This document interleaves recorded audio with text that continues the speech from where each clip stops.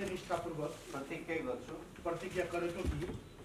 ईश्वरको नाममा शपथ लिन्छु कि? मैया धम्रजोग उपरमा शपथ लिएको कि?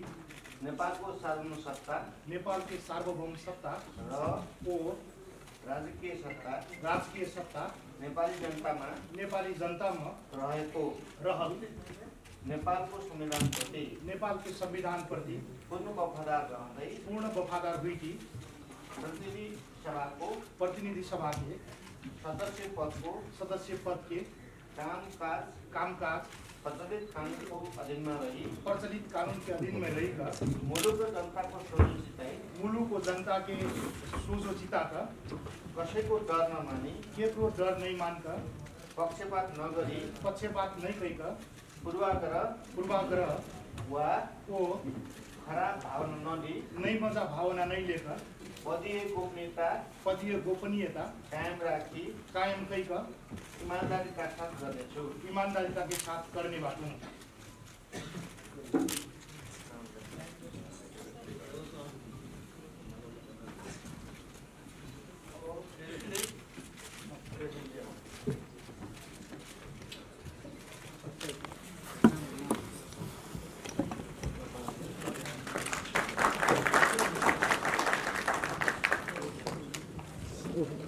दीदी दीदी एक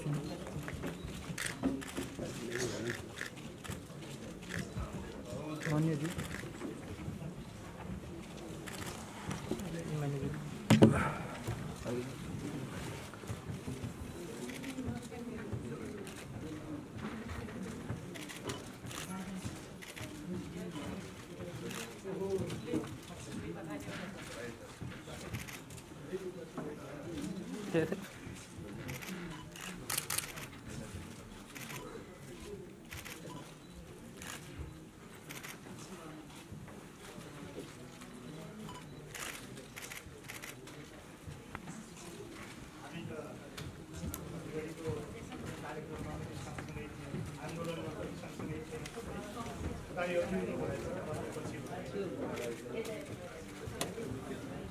त्यसमा सहयोग त्यसपछि हाम्रो संसद सेवा तपाईँलाई लोगो दिन्छ लोगो चाहिँ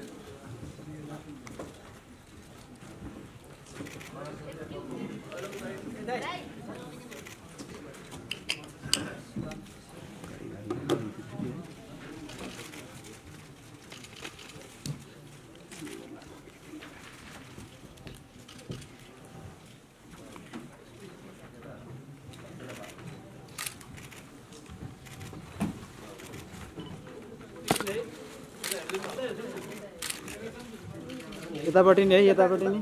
मान्छे अब यतापट्टि। यतापट्टि नि छ। यतापट्टि नि। ला- लागिले गर्दा हजुर। यतापट्टि यतापट्टि। एकचोटि हेर्नु हुन्छ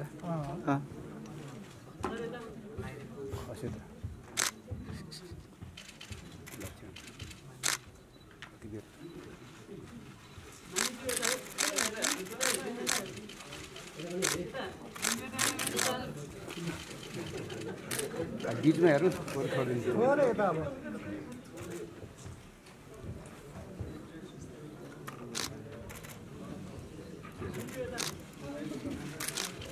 यतापट्टि नि यतापट्टि अब एकचोटि यतापट्टि अब मान्ने जाऊ यतापट्टि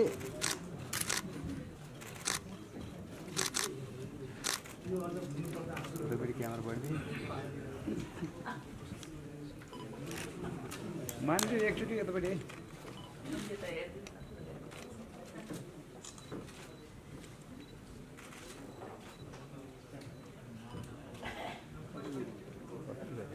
के भयो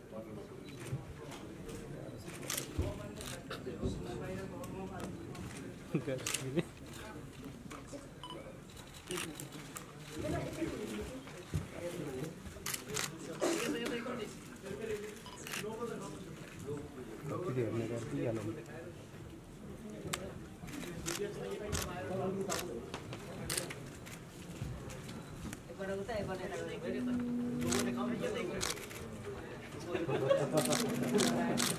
सर्वमाननीय नेताजीहरूलाई थाहा नै छ। टिकापुरमा दुर्घटना भयो टिकापुरमा राजनैतिक आन्दोलन भयो टिकापुरमा सात सातजनाले शहादत प्राप्त गरे तर त्यहीँबाट त्यही स्थानबाट चौतिस हजार तिन सय एकचालिस मतले रेशम चौधरीलाई विजय गराए। अर्थात् भनौँ मलाई विजय गराउनु भयो मेरा मतदाता साथीहरूले। टिकापुरलाई साँच्चीकै दुखेको छ। हिजोसम्म जनप्रतिनिधि विहीन थियो टिकापुर। टिकापुरको वास्तविकीय धरातलमा कुनैले कसैले पनि खोजपूर्ण कार्य गरेनन्। हामीलाई त्यसैमा दुःख छ। घरबार श्री सम्पत्ति र टिकापुरको बजारमा रहेका सम्पूर्ण थारूहरूको घरमा तिनैवटा सुरक्षा निकाय आर्मी सशस्त्र र जनपदका उपस्थितिमै सम्पूर्ण थारूहरूको घरबार जल्यो। मैले पच्चिस वर्ष मिडियामा काम गरेँ र म मिडियामा काम गरेदेखि मेरो कार्यक्रमको सुरुवातमा मैले राष्ट्रिय गीत बजाउँथेँ। सायद नेपाली साङ्गीतिक इतिहासमा यति धेरै राष्ट्रिय गीत सङ्गीत गरेको सर्जक सङ्गीतकार म एउटा हुँ। मैले नेपाल र नेपालीहरूका बिचमा विभेद देखिनँ भावनालाई फरक देखिनँ सङ्कीर्ण सोचाइ देखेँ। आज टिकापुरलाई साँच्चीकै दुखेको छ। टिकापुरका चौतिस हजार तिन सय एकचालिस जनता क्या हुन् लोकतन्त्रले परिभाषा दिइदिनुपर्छ। चौतिस हजार तिन सय एकचालिस जनताको जनमतको कदर हुन्छ कि हुँदैन?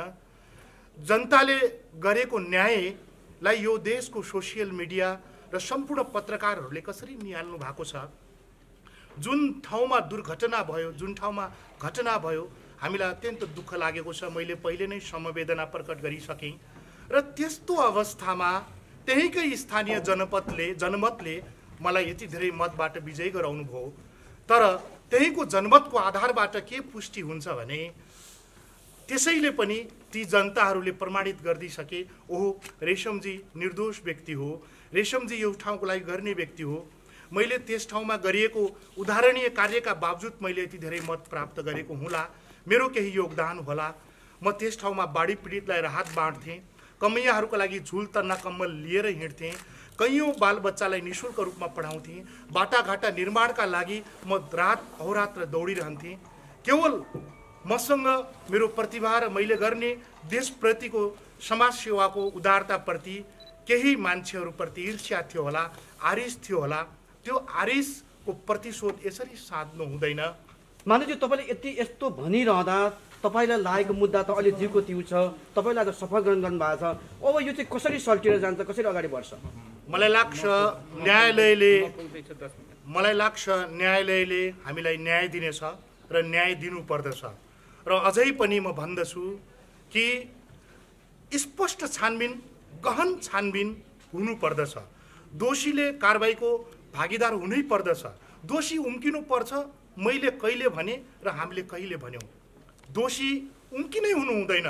आज रेशम चौधरीमाथि डाका चोरी मुद्दा लागेको छ। मेरो देशको नेपालको इतिहासमा म सबभन्दा सानो उमेरमा गोर्खा दक्षिण बाहु प्राप्त गरेको व्यक्ति हुँ र बहुमुखी प्रतिभा पुरस्कार प्राप्त गरेको व्यक्ति हुँ र मैले मेरो जीवनमा कहाँनिर कुन ठाउँमा चोरी र डकैतीको काम गरेँ त? र मलाई के लाग्छ भने राजनीतिक दुर्घटनाको निराकरण राजनीतिक रूपबाट हुनुपर्दछ। टिकापुर नेपालकै एउटा अभिन्न अङ्ग हो नेपालकै एउटा स्थान हो। त्यसलाई बनाउने जिम्मा हाम्रै हो।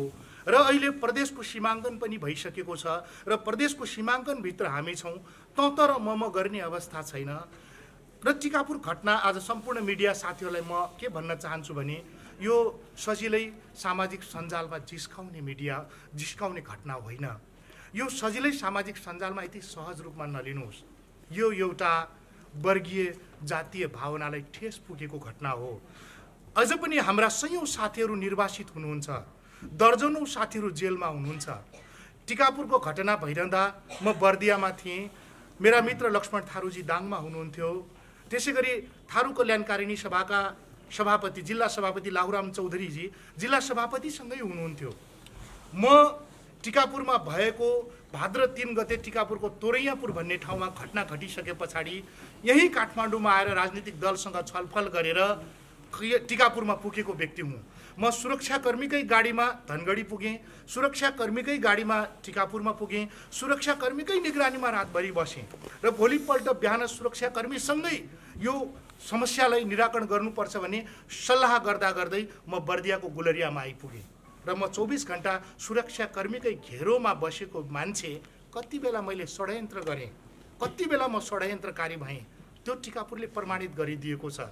सामाजिक सञ्जालमा गाली गर्दा सामाजिक सञ्जालमा हत्यारा भन्दा त मान्छेलाई मजा आउँछ होला एकछिनको लागि तर हामी टिकापुर दुख्नेलाई थाहा छ। आज टिकापुर उजाड छ टिकापुरमा व्यापार छैन टिकापुरको मान्छेको बिचमा एक किसिमको सम्झौता छैन। एउटा वर्ग बजारमा जान डराउँछ अर्को वर्ग गाउँमा जान डराउँछ। आज टिकापुरका सयौँ बिघा जमिनहरू बाँझै छन्। तर यसका निमित्त राज्य बोल्नुपर्छ कि पर्दैन? हामी न्यायालयबाट न्याय चाहन्छौँ। हामी भिख चाहन्नौँ रेशम चौधरी भिख चाहन्न हामीलाई न्याय दिनुहोस्। न्यायको आँखाले हेरिदिनुहोस्।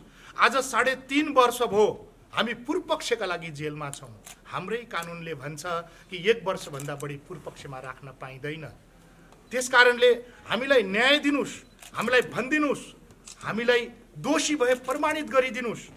होइन भने हामीले समाज मिलाउनु पर्छ देश मिलाउन अलिकति सहज होला। राजनीति गर्ने मान्छेहरूलाई देशका लागि टेबल टक गर्नु सहज होला तर समाज मिलाउनु वर्ग मिलाउनु अत्यन्त कठिन छ। म त्यही समाजमा सबैलाई नमस्कार गर्दै सबै आफूभन्दा अग्रजलाई ढोक्दै हिँडेको मान्छे हुँ र त्यही समाजमा उन्नाइस वर्षको उमेरमा अमेरिका छोडेर म टिकापुर फर्किएको मान्छे हुँ। राजनीतिमा यत्रो धेरै राजधानीमा यति धेरै सम्भाव्यता हुँदाहुँदै म आफ्नो बस्तीमा फर्केँ र त्यही बस्तीबाट आज माननीय सांसद हुन पुगेँ। मलाई लाग्छ मेरा दाजुभाइ दिदीबहिनीहरूले मतदाताहरूले न्याय दिनुभएको छ। अब न्यायालयले न्याय दिनुपर्छ र मेरा मिडियाका सहकर्मी साथीहरूले पनि न्यायका निमित्त पहल गरिदिनुपर्छ। यो